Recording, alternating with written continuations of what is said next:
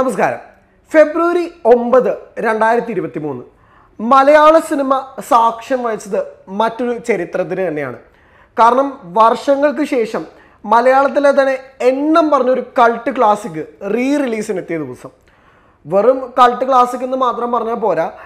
T വിയിലാണെങ്കിലും നമ്മൾ യൂട്യൂബിലാണെങ്കിലും എത്ര പ്രാവശ്യം ആ സിനിമ കണ്ടു എന്നതിന് എണ്ണം പോലും ഇല്ലാത്തൊരു സിനിമ തന്നെ സ്ഫടികം. കാരണം പാട്ടുകളിലായാലും അല്ലെങ്കിൽ ടോൾ മീമുകളിലാണെങ്കിലും സ്ഫടികത്തോടൊന്നും മലയാളികൾക്കൊരു കണക്ഷൻ തന്നെയുണ്ട്. സ്റ്റേറ്റസ് വെക്കുന്ന സീൻസ് ആണെങ്കിലും അല്ലെങ്കിൽ ഒരു ലാലേട്ടൻ ഫാൻ അല്ലാത്ത ഒരാൾക്ക് പോലും സ്ഫടികം ഒരു പ്രത്യേക ഇമ്പാക്റ്റ് തന്നിട്ടുള്ളൊരു സിനിമ തന്നെയാണ്. വർഷങ്ങൾക്ക് ശേഷം സ്ഫടികത്തിനൊരു പുതുജീവൻ ലഭിക്കുകയാണ് ചെയ്തത്. ഒരു പുതുജീവൻ എന്ന് മാത്രം നമുക്ക് പറയാൻ പറ്റില്ല. ഒരു പുതിയ സിനിമ ഇറക്കുന്ന പോലെ ഒരു completely remastered four K Dolby Atmos വേർഷനാണ് സ്ഫടികത്തിന്റെ ഇപ്പോൾ തിയേറ്ററിൽ റിലീസായിരിക്കുന്നത് സ്ഫടികത്തിനെ സംബന്ധിച്ചിടത്തോളം ആരായിരിക്കും ഈ സിനിമ കാണാൻ വരിക? അല്ലെങ്കിൽ ഈ പറഞ്ഞ പോലെ തന്നെ നമ്മൾ ഒരുപാട് പ്രാവശ്യം കണ്ടിട്ടുള്ള സിനിമയായിരിക്കും എന്നുള്ള ഒരുപാട് ചോദ്യങ്ങൾ നിൽക്കുമ്പോഴാണ് സ്ഫടികം ആദ്യ ദിന കളക്ഷൻ റിപ്പോർട്ടുകളടക്കം പുറത്തു വരുന്നത്. സ്ഫടികം ആദ്യ ദിവനം ദിനം കേരളത്തിൽ നിന്ന് ഏകദേശം കളക്ട് ചെയ്തത് ഒന്ന് പോയിന്റ് രണ്ട് കോടി രൂപയാണ്. കാരണം നമുക്കറിയാം ഇന്നത്തെ ഒരു പുതിയ റിലീസ് പോലും ആ ഒരു നമ്പേഴ്സിലേക്ക് എത്താൻ സ്ട്രഗിൾ ചെയ്യുന്ന പല സാഹചര്യങ്ങളും കണ്ടിട്ടുണ്ട്. ലാലേട്ടനെ സംബന്ധിച്ചിടത്തോളം ലാലേട്ടനെ അടുത്ത കാലത്തെ സിനിമകൾ പ്രത്യേകിച്ച് ആറാട്ടാണെങ്കിലും മോൺസ്റ്റർ ആണെങ്കിലും മെലോണാണെന്നാണെങ്കിലും ഒരു പ്രേക്ഷക ശ്രദ്ധ ലഭിക്കാതെ പോയ സിനിമകളായിരുന്നു. അതിനു മുമ്പറെങ്കിൽ ലൂസിഫർ പുലിമുരുകം പോലെയുള്ള വമ്പൻ ഹിറ്റുകൾ അപ്പുറത്ത് നിൽക്കുമ്പോഴും ഒരുപാട് വിമർശനങ്ങൾ ലാലേട്ടൻ സിനിമകൾക്ക് ഈ കാലഘട്ടത്തിൽ നേരിടേണ്ടി വന്നിട്ടുണ്ട്. പക്ഷേ കുറച്ച് വളരെ മികച്ചതായിരുന്നു ഇപ്പോൾ ബ്രോഡ് ആഡി ആണെങ്കിലും ദൃശ്യം ടു ഒക്കെ ആണെങ്കിലും സ്ട്രെയിറ്റ് ഒ ടി ടി റിലീസിന് എത്തിയത് കൊണ്ട് തന്നെ ആ സിനിമ ആരും കണക്കാക്കുന്ന പോലും ഇല്ല എന്നുള്ളതാണ് ഏറ്റവും വലിയ റിയാലിറ്റി ശരിക്കും സ്ഫടികം റീ റിലീസ് എത്തുമ്പോൾ ഒരുപാട് ട്രോളുകളും സോഷ്യൽ മീഡിയാസിലൊക്കെ നേരിടേണ്ടി വന്നിട്ടുണ്ട്. കാരണം ഇനി പഴയ ഒരുപാട് സിനിമകളുടെ റീ റിലീസ് വരും. അങ്ങനെയെങ്കിലും ഒരു ഹിറ്റൊക്കെ അടിക്കട്ടെ എന്ന തരത്തിലുള്ള ആക്ഷേപങ്ങളും ഈ പറഞ്ഞ പോലെ തന്നെ സമീപകാലത്ത് ഭയങ്കരധികം ചർച്ച ചെയ്യുന്ന ചില കാര്യങ്ങളാണ്. നമുക്ക് ആറാട്ടിനെ കുറിച്ചൊന്ന് പരിശോധിക്കാം. കാരണം ആറാട്ടിനെ സംബന്ധിച്ചിടത്തോളം ലാലേട്ടന്റെ കരിയറിലെ ഏറ്റവും വലിയ കൊമേഴ്ഷ്യൽ ചിത്രമാവുമെന്ന് പ്രതീക്ഷയോട് കൂടിയാണ് ആറാട്ട് റിലീസിനെത്തുന്നത് കാരണം തിയേറ്ററിൽ വളരെ ആഘോഷമായിട്ട് അല്ലെങ്കിൽ ഒരു കൊമേഴ്ഷ്യൽ റൈഡ് കാണാൻ വേണ്ടി ക്ഷണിച്ചുകൊണ്ട് തന്നെയാണ് ഡയറക്ടർ ബി ഉണ്ണികൃഷ്ണൻ ആരാധകരെ തിയേറ്ററിലേക്ക് ക്ഷണിക്കുന്നത്. പക്ഷേ ആ സിനിമയ്ക്ക് ഒരുപാട് പ്രശ്നങ്ങൾ ഉണ്ടായിരുന്നു. അല്ലെങ്കിൽ ആ സിനിമയ്ക്ക് എല്ലാത്തരം ഓഡിയൻസിനെയും സാറ്റിസ്ഫൈ ചെയ്യാൻ പറ്റിയിരുന്നുമില്ല. പക്ഷേ ആദ്യ ദിനം ആറാട്ടം നേടിയത് ഏകദേശം മൂന്ന് പോയിന്റ് എട്ട് അഞ്ച് കോടി രൂപയാണ്. അതും ഫിഫ്റ്റി പെർസെന്റ് ഒക്യുപ്പൻസിയിൽ എന്നുള്ളത് വളരെ അമ്പരപ്പിക്കുന്ന ഒരു റെക്കോർഡ് കണക്കുകൾ തന്നെയാണ്. കാരണം ആറാട്ടിനെ പോലെയുള്ള ഒരു കൊമേഴ്ഷ്യൽ ചിത്രത്തിന് അത്രയേറെ ഹൈപ്പോട് കൂടിയാണ് ആരാധകർ തിയേറ്ററിലേക്ക് എത്തിയതും. മേ ബി ആ ഹൈപ്പ് തന്നെയായിരിക്കാം സിനിമയെ ഇത്രമാത്രം സാറ്റിസ്ഫൈ ചെയ്യാതെ പറ്റാതിരുന്നതും.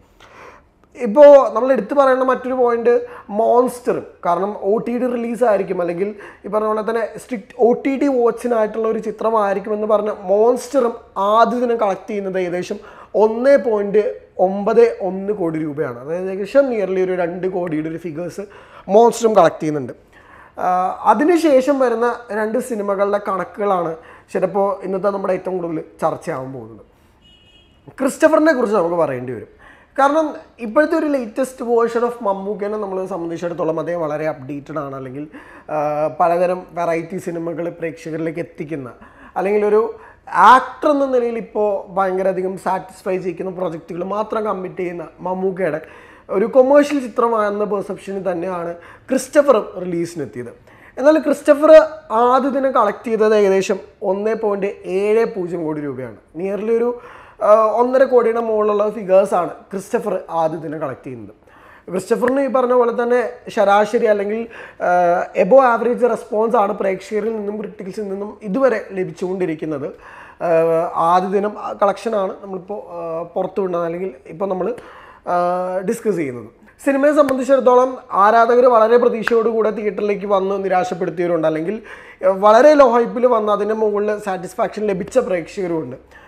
പക്ഷേ അതേസമയം അടുത്ത കാലത്തെ ലാലേട്ടൻ സിനിമകളെ സംബന്ധിച്ചിടത്തോളം കളക്ഷൻ താരതമ്യേന കുറവെന്ന് തന്നെയാണ് ബോക്സ് ഓഫീസ് കളക്ഷനുകളും നമ്മളോട് പറഞ്ഞു വരുന്നത്. മുമ്പൊരു ഡിബേറ്റുകൾ വളരെയധികം ശ്രദ്ധേയമായിരുന്നു. കാരണം ആരാണ് ബോക്സ് ഓഫീസിലെ കുറച്ചുകൂടെ ശക്തൻ എന്നുള്ളത്? കാരണം നമ്മൾ ലൂസിഫർ പുലിമുരുകൻ മുന്തിരി വിളിയെ തളർക്കുമ്പോൾ പോലെയുള്ള ചിത്രങ്ങളൊക്കെ നമ്മളൊന്ന് പരിശോധിച്ചാൽ ഇതൊക്കെ ബോക്സ് ഓഫീസിൽ വലിയ കളക്ഷൻ നേടിയ സിനിമകളാണ്.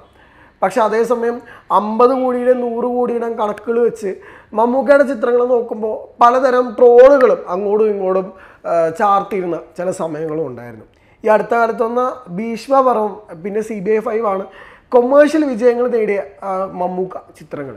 പിന്നെ അടുത്ത കാലത്ത് കണ്ട റൊഷാക്കാണ് ഒരു വേറെ ടൈപ്പിൽ വന്ന് അത്രയധികം പ്രേക്ഷകരെ തിയേറ്ററിലേക്ക് എത്തിച്ച ഒരു മമ്മൂക്ക ചിത്രം എന്ന് പറയുന്നത്.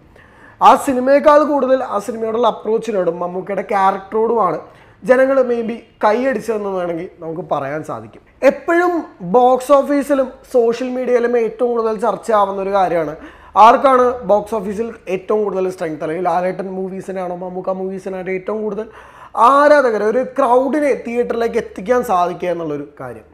ക്രിസ്റ്റഫർ ഡേ ടൂവിലേക്ക് കടക്കുകയാണ് ഇപ്പോൾ ചിത്രത്തിന് വൻപൻ ഹൈപ്പ് പ്രതീക്ഷ പോയവർക്ക് മേ ബി ഒരു ആവറേജ് പ്രതികരണം അല്ലെങ്കിൽ ഒട്ടും പ്രതീക്ഷിക്കാതെ പോയവർക്ക് അതിന് മുകളിൽ നിന്നൊരു ചിത്രമായിട്ട് തന്നെയാണ് ക്രിസ്റ്റഫർ തോന്നിയിട്ടുള്ളത്.